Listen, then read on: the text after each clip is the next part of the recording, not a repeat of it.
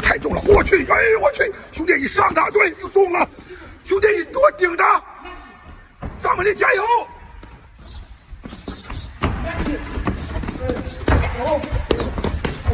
大家好，我是格斗小南。今天女保镖张美丽和托尼老师进行了二番战，双方卯足劲儿，火力全开，互相击打对方。托尼老师更是换了一种新套路——狗刨拳对战张美丽，双方打的别提有多激烈了。最后在判定输赢上又起了纷争。那到底是怎么回事呢？我们现在来看看事情的来龙去脉。前几天，张美丽和美发师托尼老师进行了一场比赛，双方的水平不相上下。校长作为裁判，判定张美丽赢。视频一经发出后，很多网友不认同这个结果，说吹黑哨应该判托尼赢。看到网友的评论后，张美丽为了证明自己没有吹黑哨，也为了证明自己的实力，她向托尼老师发起了二番战的邀请。Hello，大家好，我是女保镖张美丽。上次跟托尼老师 PK 完以后。有很多粉丝在评论区留言说，我们吹黑哨打假拳，然后托尼老师没有发挥好他的正常水平，那一局应该是算他赢。既然如此，我向托尼老师正式发起二番战的邀请，邀请他来到咱们的训练基地，来到我们的擂台进行第二次 PK。到底是托尼老师厉害还是张美丽厉害？我们擂台见真章。在发出二番战邀请几天后，托尼老师正面做出回应：你好，张美丽，听说你还是不服气儿，这次。我要去你们基地挑战你，你等着我啊，等着！托尼老师说来就来了，现在已经在张美丽的训练馆里热身了。张美丽这次要跟他真枪实弹来干一下，看看到底谁厉害。现在就去会会他，加油啊，加油！放心，在那呢。来来，整整他整他一下就完了，还不服？你看，张老师，张老师。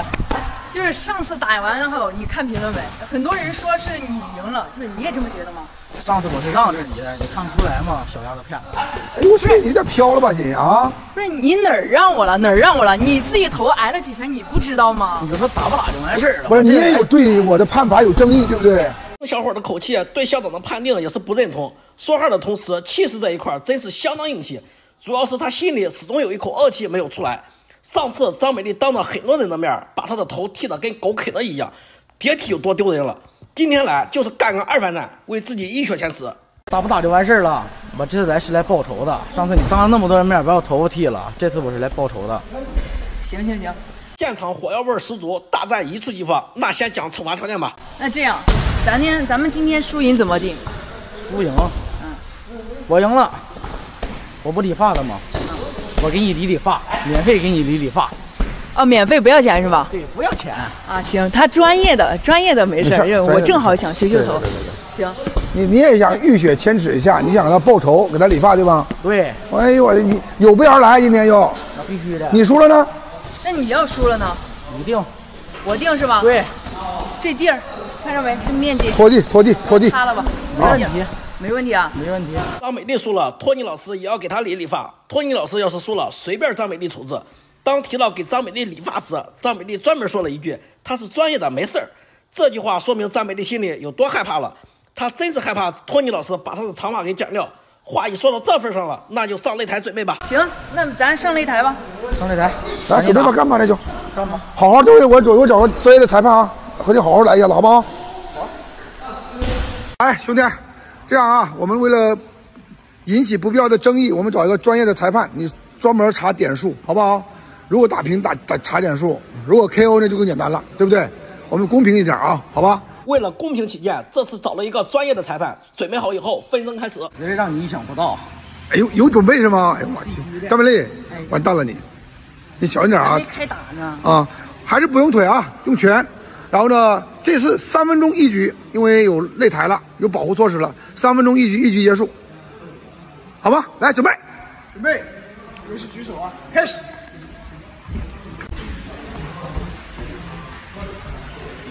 他妈，这很，这干啥呢？这俩人 还停着，哎呦，我，哎呦我去，这这是王八拳，这是，这你张不要废。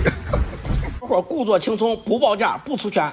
正在大家猜想他要干嘛时，突然快速的左右抡拳，每一拳劲儿都很足。幸好张美丽反应快，躲闪及时，小伙扑了个空。张不要废！哎呦我这这一轮来的，这太讷了，兄弟你这太讷了！哎呦我去！小伙这次打的有点太讷了，每个招式都有点让人摸不透，有点小狂的感觉。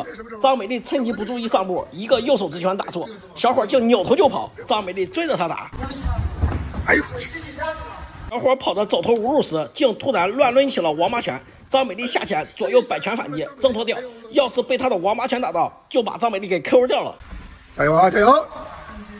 马上一分钟，还有一分钟，小伙子，一分钟，你来吧！哎呦我去，哎呦我去，哎呦我去，哎呦我去！小伙真是猛，把王八拳直接升级成了狗刨拳。这种方式是由上至下的拍法，出拳量极大，且力量大，而且省力。这什么拳？这是什么套路？这是？哎呀，哎呀，哎呀，哎呀，这是什么动作？哎呀，小伙又要出新招式了，把校长和裁判都看蒙圈了。这什么动作？这是？我准备要准备大大轮摆了，这是？我去！哎呦我去！小伙这招泰山压顶太牛了，正中张美丽头部。张美丽快速下潜反击，躲过后面的拳。那刚才那一个电炮给他泰山压顶，他创造了个新招泰山压顶。你看，走走走，兄弟，你你这手挺厉害呀！我我去，又来一个，有几手啊？我去，又又来一炮，又来一炮，这个炮太重了！我去，哎我去，兄弟你上他，对，又中了，兄弟你给我顶他，张美丽加油！小伙凌空一击，张美丽侧身一记后手摆拳打中小伙你，上他，对，又中了，兄弟你给我顶他。张美丽左右直拳上步，小伙扭头就跑，刚跑两步，一个转身和张美丽硬拼起拳来。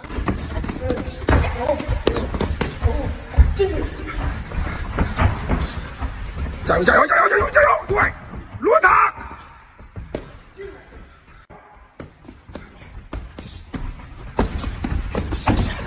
哎呦我去哎呦我去哎呦我去最后的关键时刻小伙使出了狗刨拳和张美丽硬拼张美丽顶着拳左右直拳快速反击双方瞬间打红了眼扭打在一块儿校长见状大声喊停停停停停停停停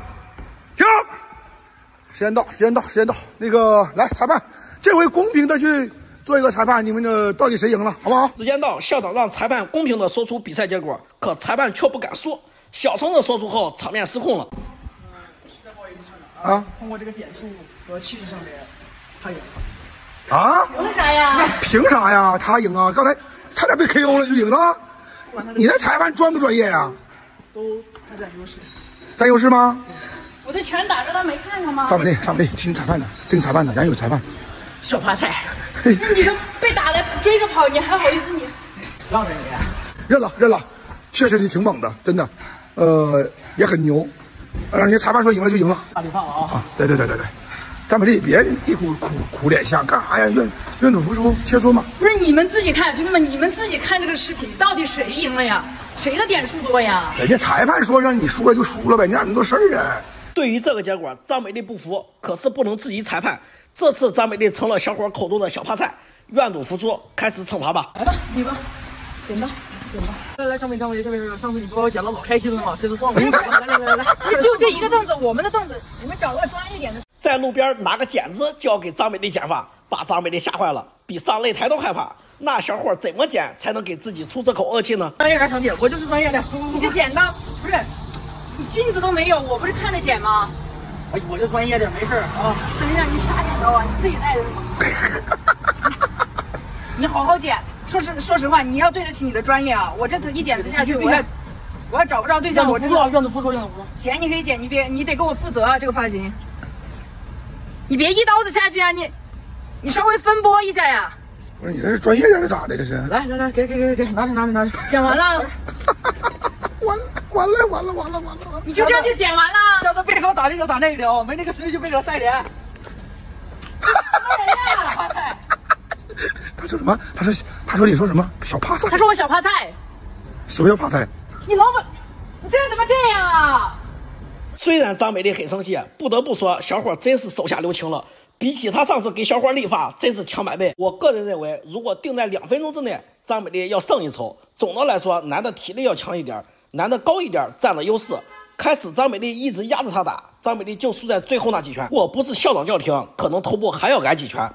男方看起来越战越勇，其实身体已经累得差不多了，都在做最后的支撑。各位大佬，对于张美丽对战托尼老师的二番战怎么看呢？欢迎评论区留言讨论，谢谢，我们下期见。